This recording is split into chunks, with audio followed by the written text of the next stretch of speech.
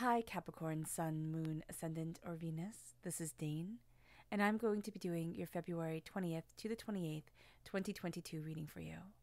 Now, I ask if this reading resonates with you. Don't forget to like, comment, and subscribe. If you're interested in any of the cards that I'm using, they will be listed and linked in the description box below. Now, before we begin this reading, let us clear the energy space, raising our own energy vibration and releasing any negativity. So, take a nice deep breath in, exhaling whenever it feels comfortable for you.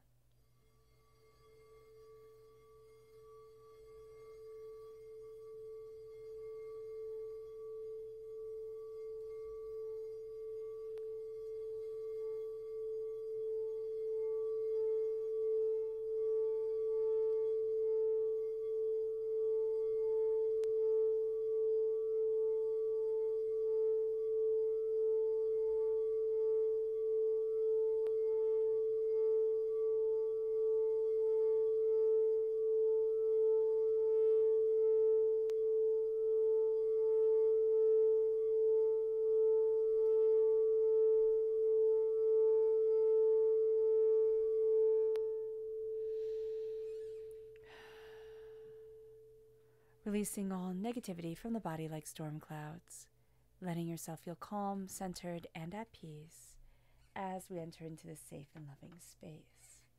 So let's see what the tarot has to say. Capricorn, February 20th to the 28th, 2022, Capricorn. Angels and spirit guides show me clearly.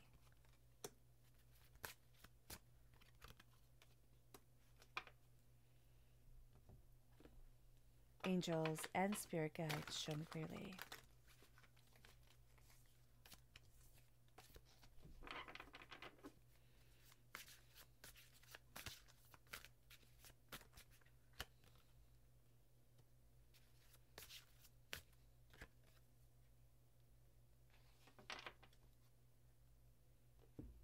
Angels and spirit guides show me clearly.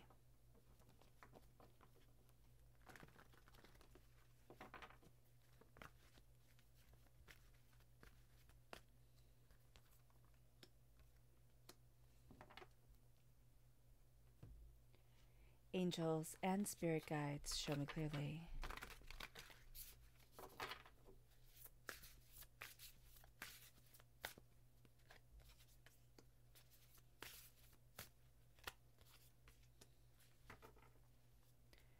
So at the bottom is our rooted self. The left hand side is our inner self. The top is our heart or emotional self. The right hand side, the public arena, the public self. So let's see what the cards have to say. At root, we have the Empress, which I love. There's we're pregnant with possibilities during this time. For some of us, we might actually find that this is a very fertile time if we want to get pregnant. So do be mindful of that. But there is also a sense here of this is, you know, this is a fertile ground for opportunities, for creativity, for insight, for ideas. If there's something that we've wanted to do, you know, if there's, you know, something that we've wanted to start creating, like a painting or a picture or you know writing or even you know scientific ideas. This is the time where we're going to find ourselves being really innovative being really creative kind of thinking outside of the box and it's bubbling up within us. So that's really quite cool and then we have the moon, the high priestess, very strong sacred feminine energy at our root. So we're we're really connecting with the sacred feminine aspects of ourselves. The veil is being lifted. We're seeing things with so much more clarity than we have before. It can be it can be overwhelming during this time and we're also seeing people with more clarity so people who we could have thought oh they're like this or oh they're like that it's like okay but now I'm starting to see a different layer of them. I'm starting to see them in a different light. It moves us to our subconscious inner self, and it's the Nine of Wands. We have to be very careful. Everybody's going to kind of be telling us what to do, how to do things. We're going to be trying to listen to many different people, many different and kind of polarizing ideas. So just be aware of that. It brings us then to the Two of Cups. This is the Minor Arcana Lovers card. This is healing. This is unity. This is connection. This is brilliance really coming forward. It brings us then to our emotional self, and we have the King of Cups. This is water sign energy, Pisces, Scorpio, Cancer. There's a real sense of I'm embracing my heart, I'm embracing what I love. I also have to be very mindful here because the King of Cups knows that I can't listen to what everybody is telling me. We we just can't. Capricorn, we can't listen to what everybody else is demanding on them, what on us, what everybody else is pushing us forward towards or backwards towards or you know in the middle it's like i need to listen to me to what i'm discovering for myself for what i want and it brings us then to temperance, which is balance. This is Sagittarius energy. So if we're born on the cusp with Sagittarius, this comes through quite powerfully. Or if we have Sagittarius within our natal chart, we're going to find that there's a need for balance here. There's a need for harmony. There's also a need for going deeper, asking more questions, figuring out more. It brings us then to the star, which is Aquarius energy. So if we're born on the cusp with Aquarius, this comes out quite powerfully. Or if we have Aquarius within our natal chart, this is a sense of what I wish for, what I'm discovering, what I'm developing within my life coming forward. But this isn't just the I cross my fingers and I wish for, you know, a pony type of thing. This is a what my soul deeply wishes for, what I long for, you know, late at night when I think the whole world isn't listening or when everything is quiet and I can just kind of talk to spirit or connect with myself. This is what I long for. And it brings us to the chariot. It brings us to to Cancer energy. Now, Cancer energy is our sister sign. So, Cancer energy has an interesting impact on us, meaning that it can be our best friend in the whole entire world, right? Like a sister can be just absolutely wonderful, or it can be very chaotic energy, energy that knows how to push our buttons just really, really well. So, what we're going to have to be mindful of during this time, as we're looking at what we're wishing for, we have to be mindful of sabotage. We have to be mindful of people kind of roiling us up or boiling us up, you know, emotionally. And we also have to be mindful of the way that we're moving forward. You know, are we in harmony with ourselves or is it subconsciously we want to be moving in one direction and consciously we are forcing ourselves to move another direction? And is that causing conflict within us? What is what is the conflict that is coming forward during this time? Because I just see us pulled into very distinct and very powerful directions. And that's going to be something that we we need to come to a realization of during this time. So let us see our energy to be mindful of. Angels and spirit guides show me clearly. And this is the Prince of Pentacles. Now, this is us. It can be that we act a little bit immature during this time, not to insult us at all, but it's just going to be something to be mindful of.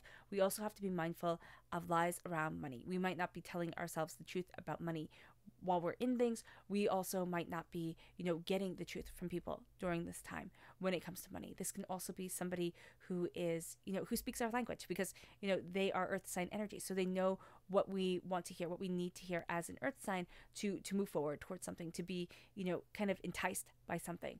And here it is somebody without the follow through, without the backing that they think that they have, you know? So just be very aware of that. It could be somebody with a really great idea you know finances to follow it through or it can be somebody who you know just gets lazy. Like they can they can do it. We know they can do it but they drop the ball you know halfway through or not even halfway through. I'm just going to take a sip of water. Excuse me. So let's look at our chakra energy. Angels and spirit guides show me clearly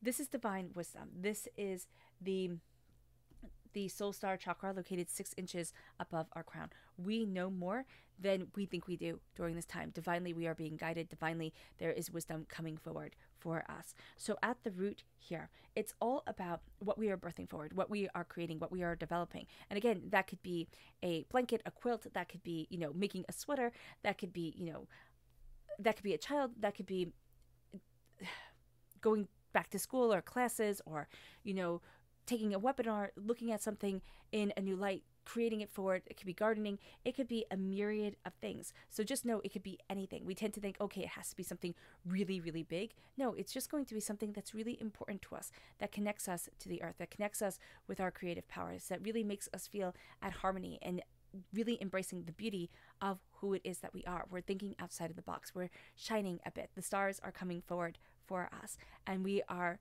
claiming our prosperity. We're claiming our beauty. We're we're seeing why we're here on this earth more and more and more.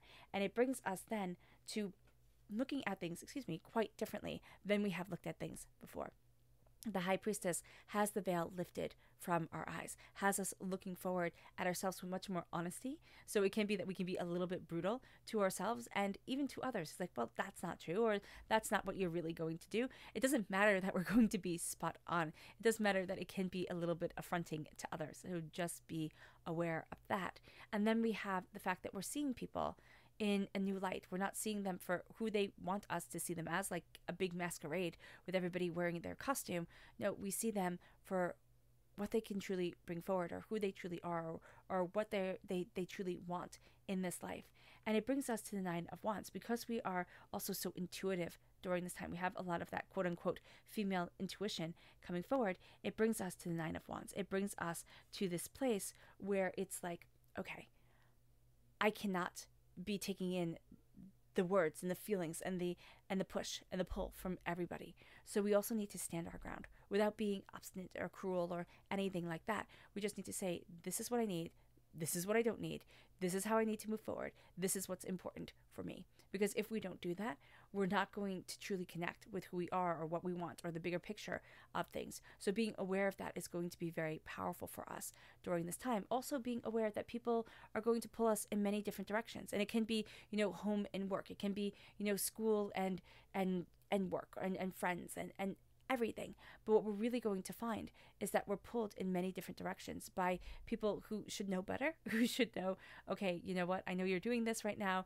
I'll let you finish and then we'll talk or then we'll do this. There's also a sense of a lot being put on our plates, a lot being pulled, like my attention being pulled this way and this way and, and that way. And so it means that what we're going to see here is that I'm not going to be doing anything really well if this keeps happening. So we're not going to be doing things to their fullest if this keeps happening to us. If we keep on having to go this way and then go this way and then do this and it's like, "Oh my gosh, one thing at a time is going to be super important for us." It brings us to the 2 of cups. It brings us to healing, it brings us to love, it brings us to connection, it brings us to unity, which really does lead us forward. There's a calm that comes over us. But again, that calm can easily be broken if we let everybody's chaos come forward. If we let everybody you know, kind of pull us in all the different directions. The King of Cups here is very much saying, This is my power, this is my prosperity, this is what I do. So the king is in the middle of the water, right? And that means that he doesn't have all the people around him, he has himself.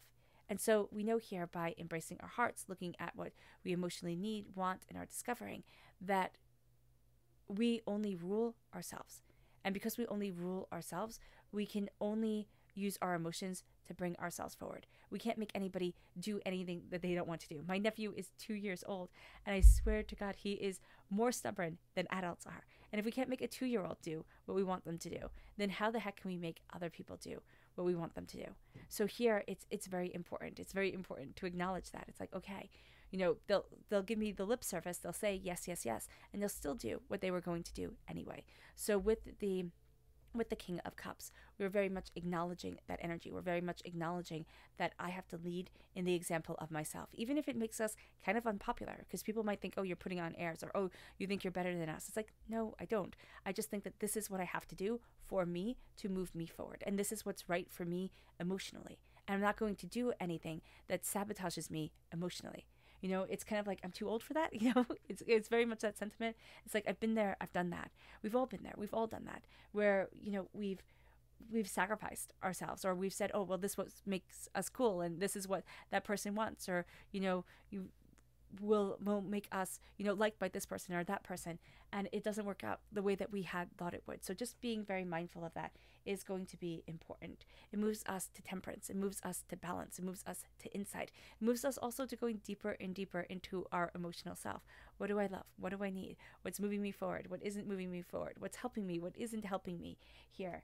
And so, as we're finding that balance and as we're diving deeper into ourselves, not only emotionally, but also into our intuition, into, you know, how we feel within this world. So, yes, it's emotionally, but it's also spiritually during this time the star comes forward and it's like, what do you greatly wish for? And that's what we're really trying to prepare ourselves for at our heart because we know that the star, this wish, is starting to come forward. But we also know that during this time, we can get kind of sidetracked with the chariot. Now, chariot is journey and success and progress, yes, but because it also is that sister sign, that one that can push all the buttons or absolutely elevate us, we have to be aware of that. We have to be aware that during this time, we can have the star come forward, we can have the wishes come forward, we can have the beauty come forward within our lives, most definitely, but we can also have ourselves, have our attention just like absolutely pulled to one way. And it's, an illusion. It's a delusion. It's it's not right for us. So just be aware of that. Be aware of being in alignment during this time or looking at things and saying this is where i want to go and making sure that we go there because there's such an energy of getting sidetracked or getting overwhelmed or looking at things in a, a different way that we think okay this is going to be innovative and new or fun or whatever and it winds up causing us a lot more stress than than we thought it would. So just being aware of that is going to be very important during this time because we have so much to bring forward during this time that we don't want we don't want it to be mucked up. We just really don't. So let's look at our subconscious energy to be mindful of and it's the Queen of Swords, air sign energy, Gemini, Libra, Aquarius. This is somebody who's very good at twisting words, at, you know, it's kind of like the person who gives a compliment and an insult at the exact same time, has you completely off your guard. So be aware of that. It's a very sharp tongued, quick witted person. It moves us to our subconscious chakra energy, life purpose. This is the throat chakra. We are speaking our purpose into existence. We are ascending the steps. We are seeing ourselves. We are understanding the way that we need to move forward. And that is becoming powerful that is becoming beautiful for us. And so, here with the third chakra, as we embrace our words, as we embrace what we're discovering within ourselves, we are speaking a powerful and beautiful truth that guides us forward. It's also saying, This is this is why I'm here. And so often we think it has to be a big thing. We think it has to be this big, passionate, like overwhelming thing of why we're here on this earth you know to to be a movie star or a rock star you know those type of things ceo of a company but sometimes it's to live a very quiet life and sometimes it's to have beautiful gardens and to have beautiful connections with our community and our family and just to be loved and to be gentle and to love. And that is enough. You know, so often we hear that that's not enough. It has to be more and more and more. It doesn't. It just simply doesn't. And so when we're letting ourselves shine forward, we have to not poo-poo what what makes our heart sing, what makes us shine. It brings us to our subconscious chakra energy, not chakra energy, rooted self, and it's the fool.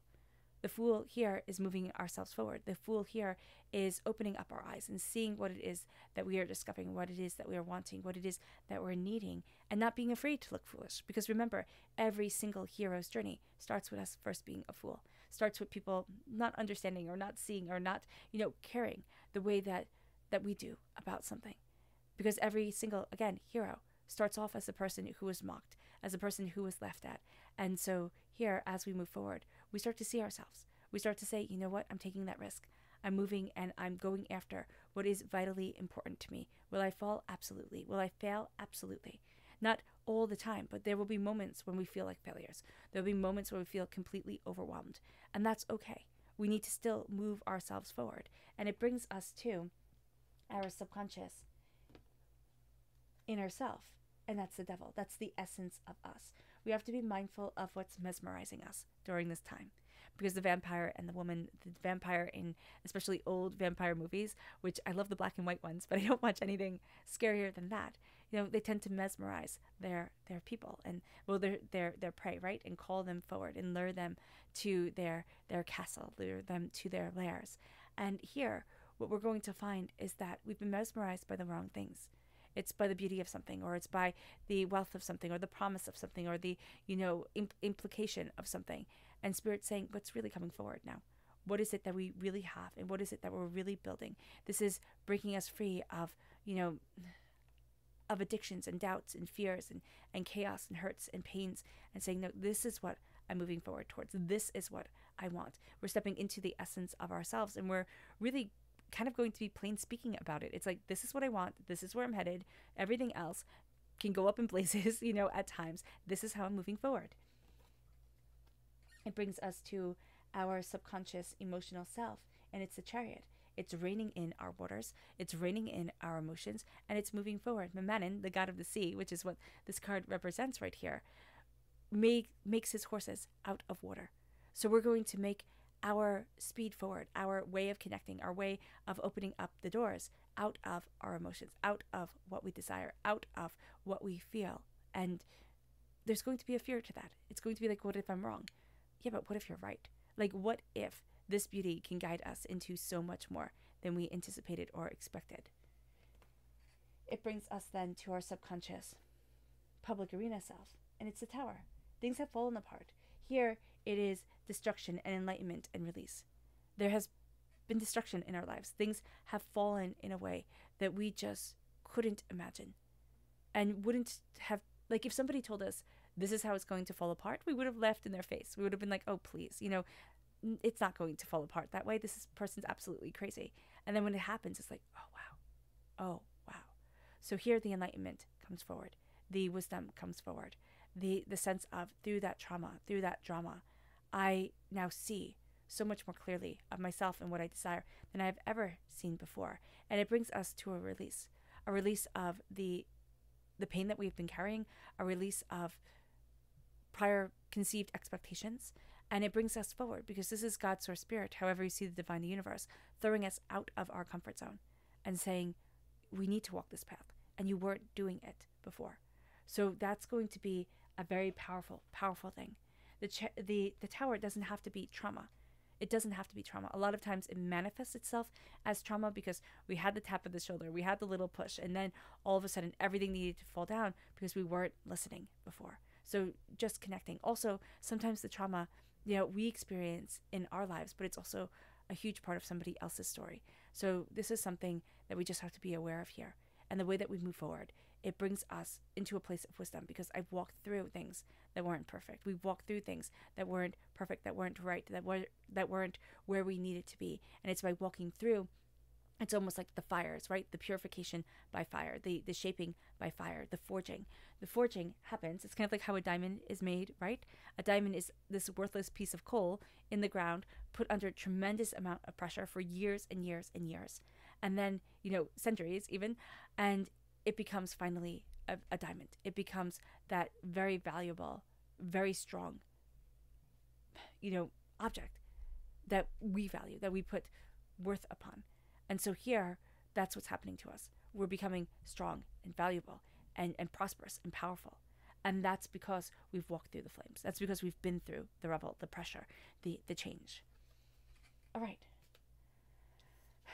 All right, Capricorn. I hope that reading has resonated with you.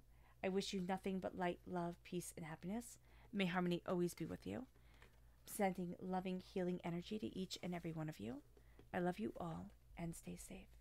Let's end this reading with a meditation, a clearing away of negative energy, a raising of our positive energy as we embrace the power and the intensity of this time, but also the transformation of ourselves. So take a nice deep breath in, exhaling whenever it feels comfortable for you.